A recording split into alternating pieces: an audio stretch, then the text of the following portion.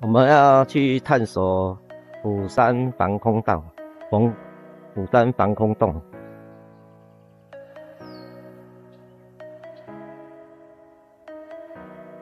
这里就是虎山防空洞，从这边上去，这里的小径。虎山三十九号防空洞，台湾省政府战备防空洞，省政府员工多数知道它的重要性。它位于中心新村光华里环山路西侧虎山路，由当时曾参与对日抗战重庆大型防空洞挖筑专家设计，并利用虎山起伏地形及工兵营建造。完成大型地下指挥中心备用，其出入口从一到三十九号，但俗称三十九号防空洞。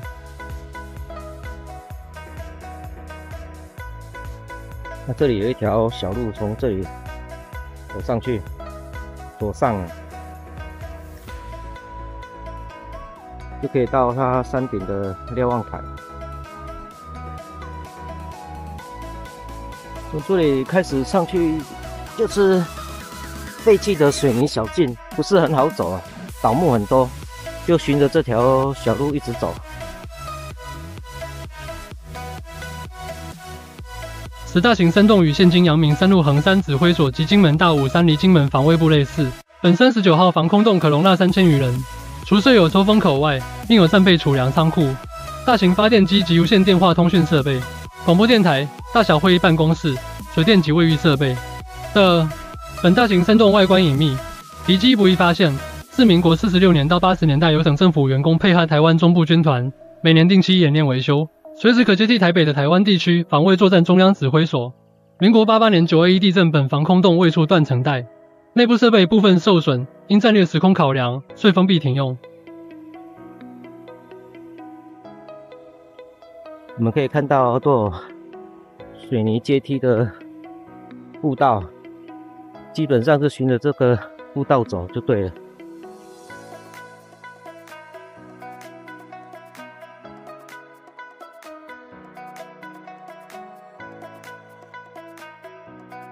这里有一颗神府的戒庄。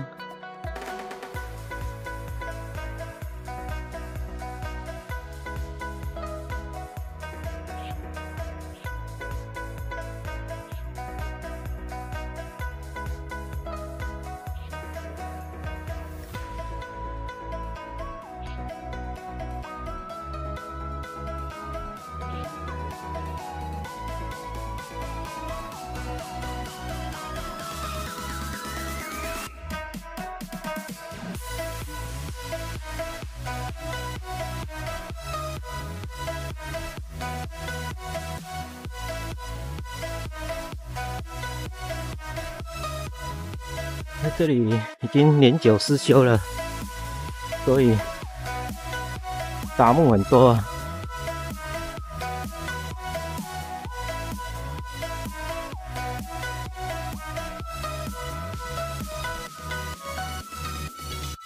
这里就是瞭望台。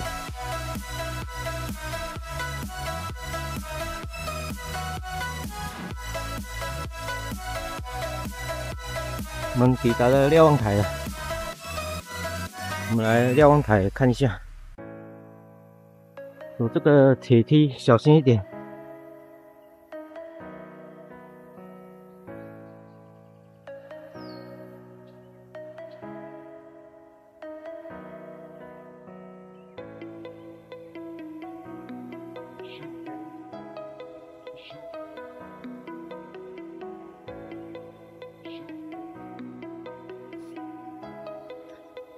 瞭望台的景色还不错。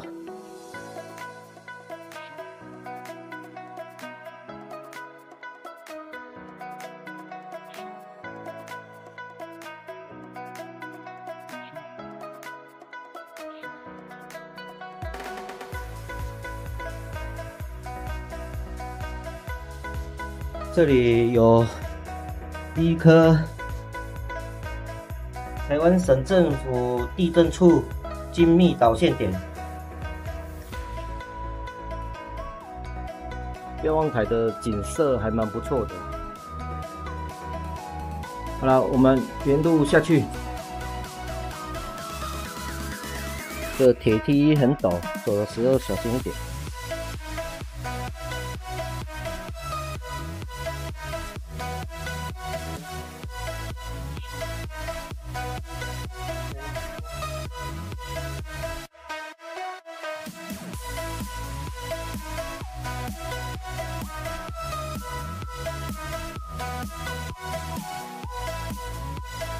我们再继续往前看。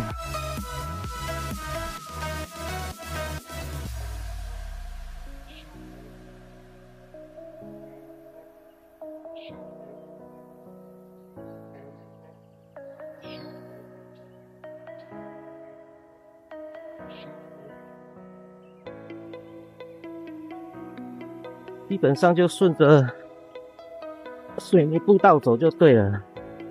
只是有时候路径不好找，转来转去。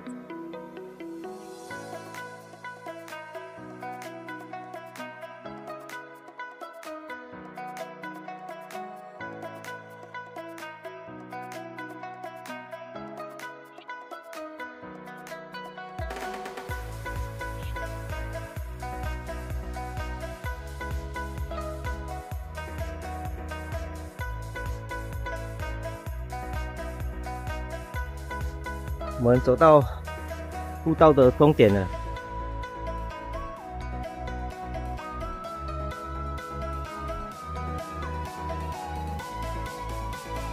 这有一个铁门，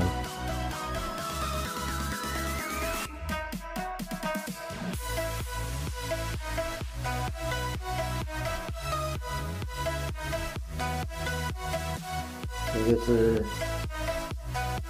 这是虎山防空洞的逃生门吧？这有一个逃生井，蛮深的。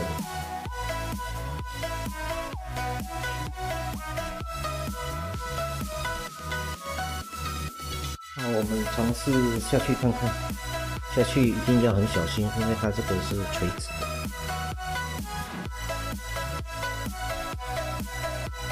台湾省政府战备防空洞是民国四十六年间，省政府从台北出迁中心新村，为应战备需要，利用虎山建造躲避空袭之伏地堡，以作为战时行政指挥中心，俗称为防空洞。防空洞主体沿虎山西路、毗邻中心新村环山路开凿，有六个出入口，一地形辟建约八十至九十公尺深，通道宽二点六公尺，高二点八公尺，长一千五百公尺，彼此贯穿，以助空气流通。并在山腰约一百二十至一百六十公尺等高线处立排气抽风口数座及了望塔一座，洞内可容避难人员三千余人，以备暂时办公及避难之需。山洞外观郁郁苍苍，入口掩映森森林木间，十分隐秘，且为备战需求，省府成立惊动会防护团，每年动员演习，深入洞内应变。自民国八十年来止，防空洞经历了五十年岁月变迁，可惜于民国八八年九二一地震时，因为处于地震断层带。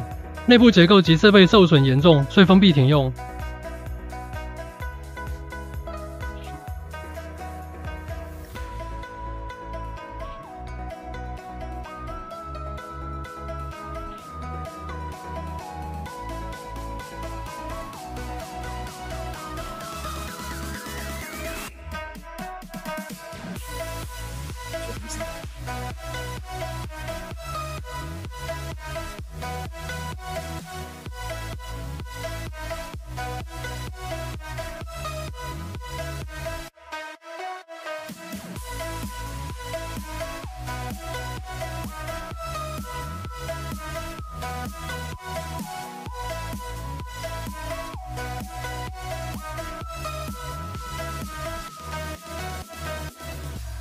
非常的深啊！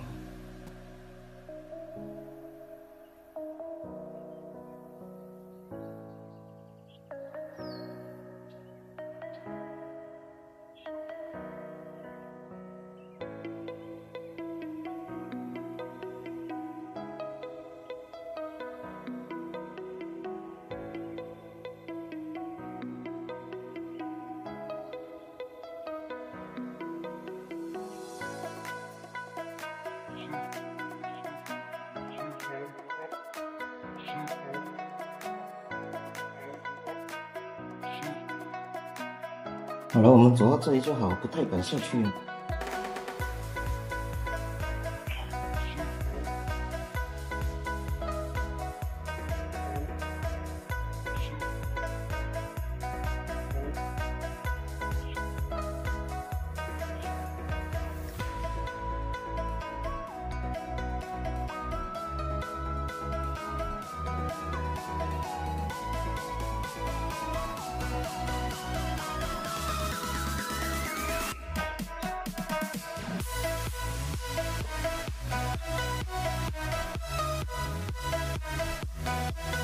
关闭相机。我们爬上来了，我不太敢下到最底部，因为我怕有沼气。这而且下得很深，有点恐怖。好了，出出去。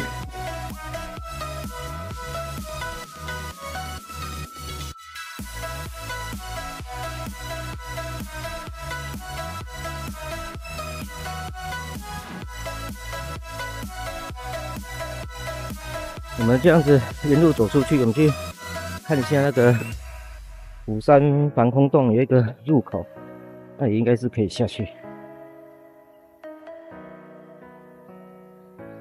要看这个，可能要做一些安全措施啊，可能要背那个吊带，啊，边走边下去。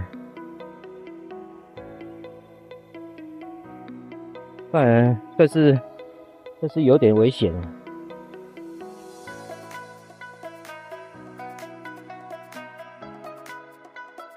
探洞探险归探险，可是安全也要注意啊。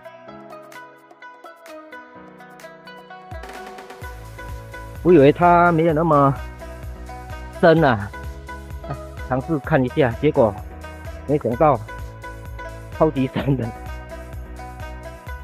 怕下去有沼气危险，所以赶快，好像快接近到底部了。啊，底部之后会有一个凸出来的，那就有个难度啊，我不敢再下去了。那个有点像要掉的下去。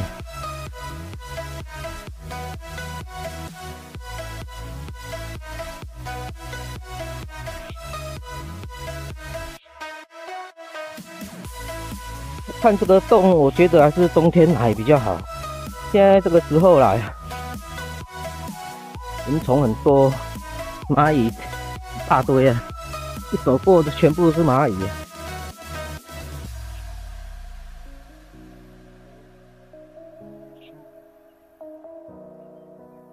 感觉上好像在钻蚂蚁窝。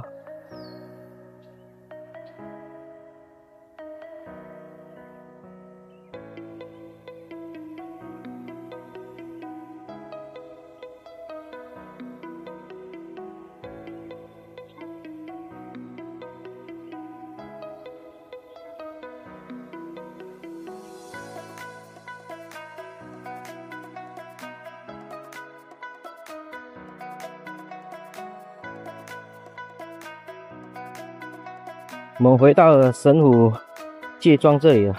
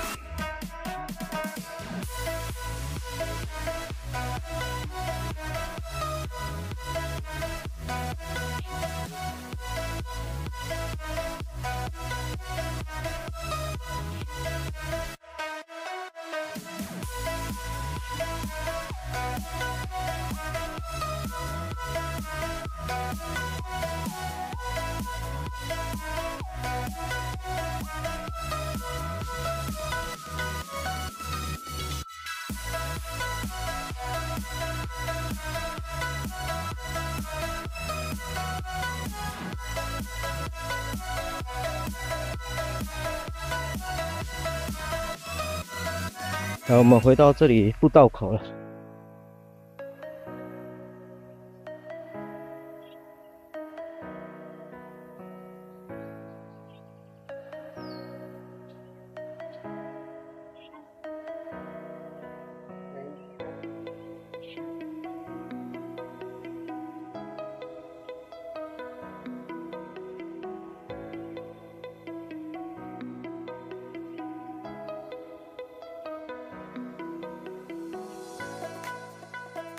我回到了防空洞这里，我尝试去看看能不能下去那个防空洞那个入。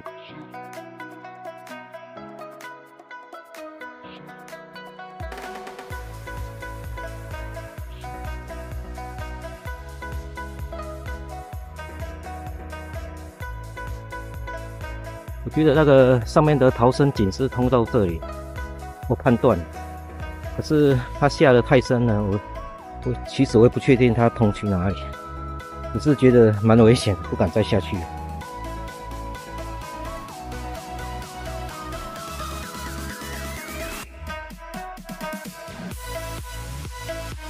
所以它这里下去，老实说也是很难下去，它没有类似说踏垫。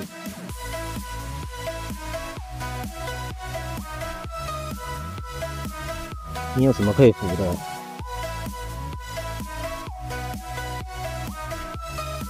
好，我们走下来，我们来去看一下。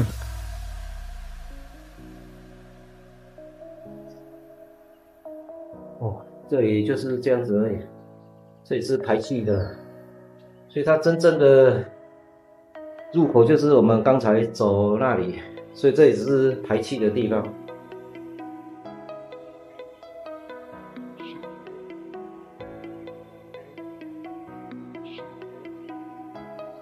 哦，我们爬上来了，这里很难爬。然后我们一路走回去。